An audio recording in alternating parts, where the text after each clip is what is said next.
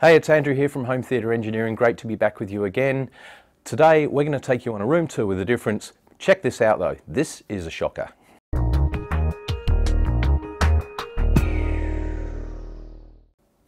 Okay, before we head into the room, I want to explain a few things. A while ago I did a rant about so-called professionals providing home cinemas to, to customers but doing a really shocking job. At the time, we were getting about one call a month. We're now getting about four calls a month from people stuck in that position. Only the other day I went out to a guy to do a calibration for him only to find out that he's had his home theatre for a year. Uh, it's a 4K HDR installation, but he's only ever had HD uh, standard definition um, and standard dynamic range images. The shop has agreed to change the cable, but they won't install it. They've just said, right, you know, here's another cable, you've got to give us the other one back, and that's it. We're not going to actually fix the problem. So he's still stuck with it, and he's now going to work out what he's going to do and who he's going to pay to get it fixed. Hopefully, we'll be able to help him out and get it all solved.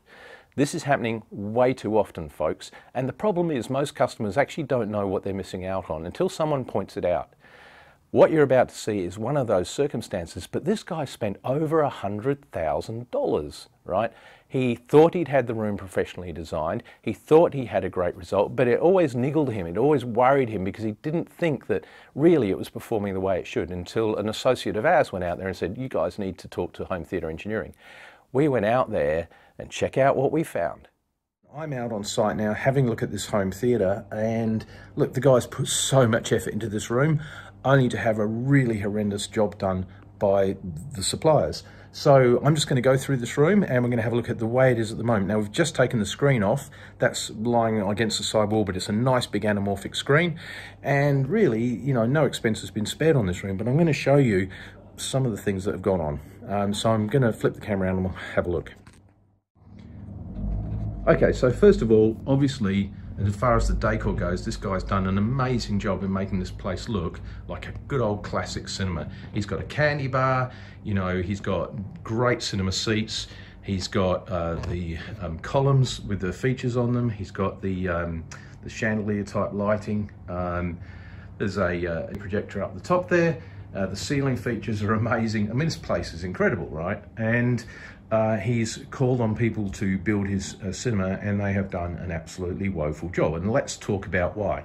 Well, first of all, let's have a look at where your surround speakers are.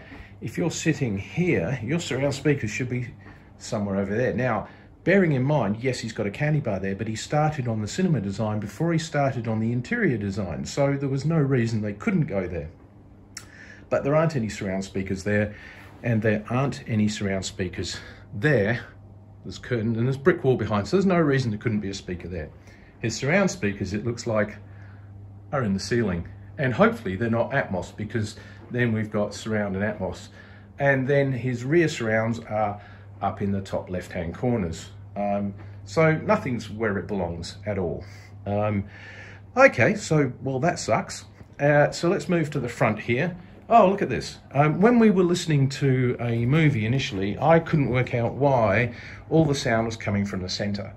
And now we know. If you have a look, we have these um, speakers all stacked pretty much side by side. So the total image width is about 1.5 meters maybe maybe two meters max.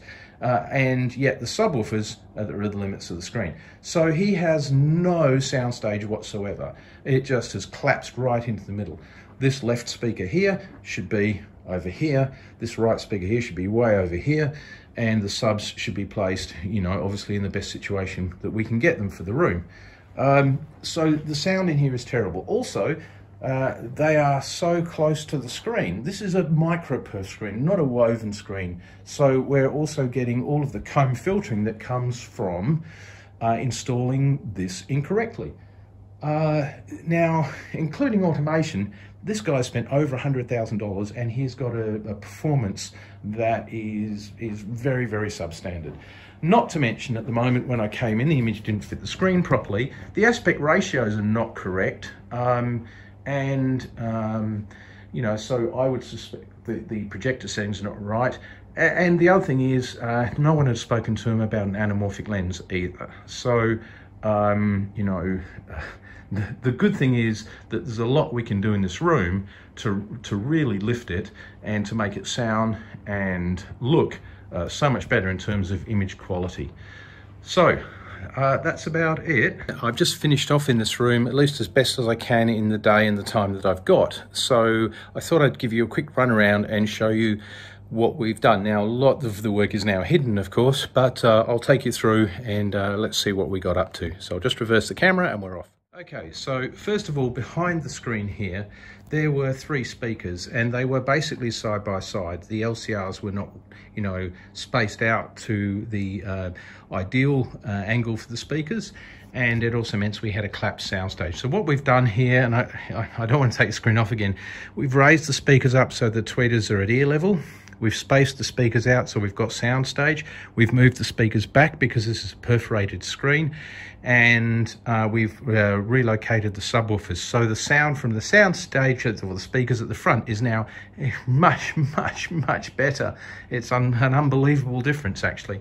All right, coming around here, you can see in the ceiling, uh, these were two Atmos speakers. Now, if you look at where they are in relationship to the seats, you can see that they were never going to work. So the first Atmos speaker is um, uh, just here, over there, and the second one's there. So there's no real front Atmos, so what you've got a center and a rear Atmos, but the rear Atmos isn't even behind the rear seats. So you, the Atmos are entirely in the wrong location, and also Atmos should ideally be lined up with the left and right, or close to, um, but these are way over here, um, miles out, out of alignment. So um, the, the Atmos speakers were really not much use. So what I've done is, because this speaker, and I'll just move back again, sorry it's a bit bumpy and all over the place, but okay, because this is pretty much in line with the seats, I've retasked that speaker because he's got no left and right surrounds at all. So I've retasked that as a right hand uh, surround speaker. Not ideal, it's in the ceiling, we, we wouldn't have done that, but hey, you know, and here's the left hand surround speaker now. So now he has left and right surrounds.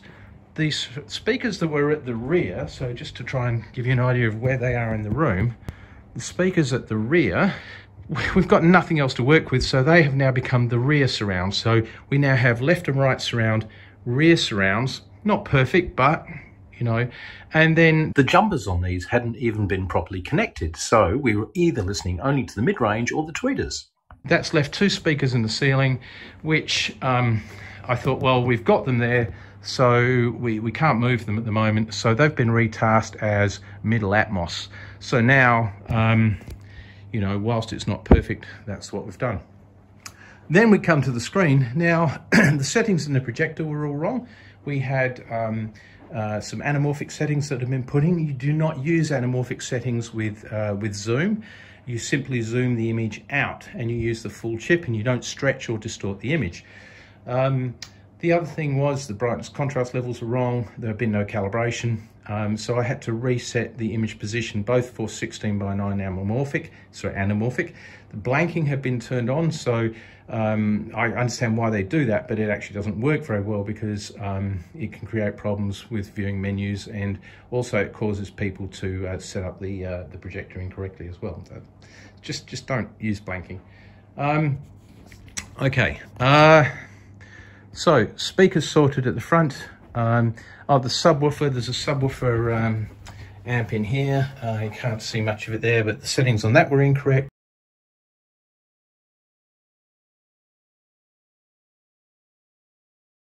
Uh, the surround settings on the amplifier were incorrect, the levels were incorrect, the distances were incorrect.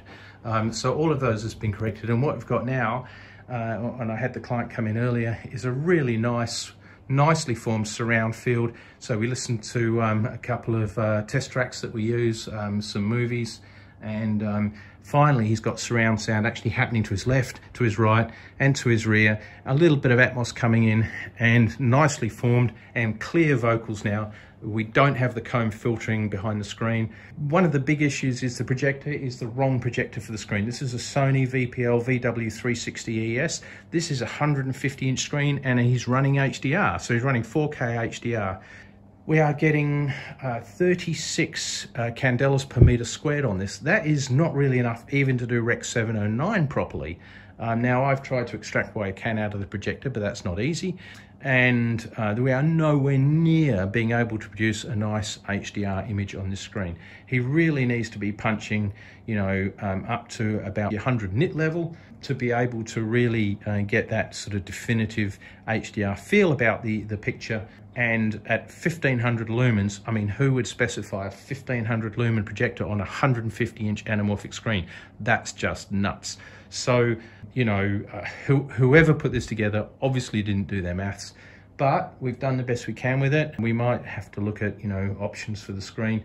An anamorphic lens would help a bit. It would lift the, the light output because we are using all of the chip then but it seems more of a patch job. Really, the projector needs to be changed, and then you could look at using an anamorphic lens perhaps. But look, what we've done in here is we have turned a, an atrocious room, um, very badly designed, very badly installed, very badly set up room, and uh, we've now got decent surround, half decent image, um, and some good clarity, uh, and you know the client's very very happy. I mean it, there's been a terrific leap. It's taken about sort of seven hours to do it but uh, certainly happy with the outcome. So there you go that's really what's happened in this process of taking a room from a, from a bad design and install to trying to do the best we can with it within limitations. We can't rewire, we can't add speakers at the moment, so nothing in that sense is going to change. We've just done the best we can with what's here. Thanks, folks, and hope uh, hope that's been worthwhile. Uh, one last look at the room. There you go. Okay, so that was a brief tour of the room and you know uh, it shows some of the things that we had to do to try and improve it. Unfortunately because of the way the room was constructed underground um, with uh, solid walls um, on most of the sides there wasn't a lot that we could do. Cabling was going to be very difficult. Uh, there were a lot of restrictions. And that's part of the frustration because the room as we said was built around the original design given to him by by the store However, we have improved it, and I think ultimately what he'll end up doing is upgrading the projector so that he gets great HDR, and uh, you know we can sort of give him the right advice and help him through. Take care. I look forward to talking to you soon.